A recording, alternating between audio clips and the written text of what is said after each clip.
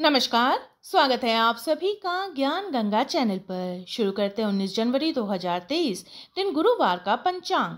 लेकिन वीडियो शुरू करने से पहले अगर आप मेरे चैनल पर नए हैं और अभी तक आपने इसे सब्सक्राइब नहीं किया है तो प्रतिदिन पंचांग की जानकारी प्राप्त करने के लिए आज ही मेरे चैनल को सब्सक्राइब कर लीजिए, साथ में बेल आइकन को प्रेस कर दीजिए ताकि आपको मेरे वीडियोस की नोटिफिकेशन मिलती रहे।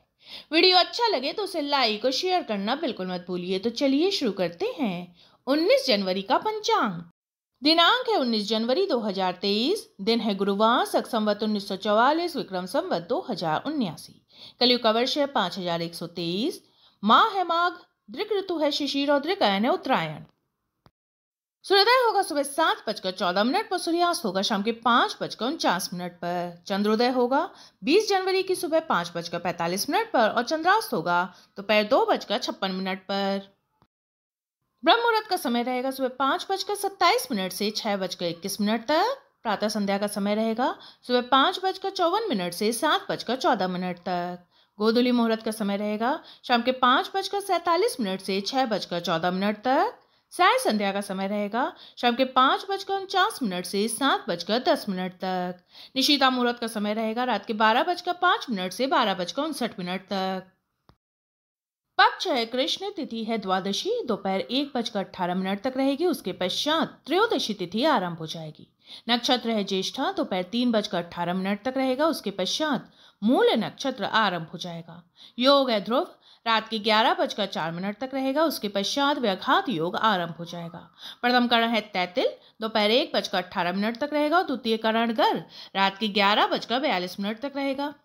चंद्रमा रहेंगे वृश्चिक राशि में, दोपहर तीन बजकर अट्ठारह मिनट तक उसके बाद चंद्रमा धनु राशि में चले जाएँगे। सूर्य रहेंगे मकर राशि में, सूर्य नक्षत्र रहेगा उत्तराषाढ़ा दिशा सूल है दक्षिण दिशा, इसलिए दक्षिण दिशा की यात्रा पर जाने से पहले घर से दही खाकर निकले।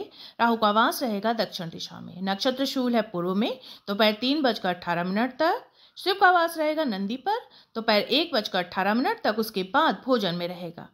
अग्नि का वास रहेगा आकाश में, दोपहर एक बजकर अठारह मिनट तक उसके बाद पाताल में रहेगा।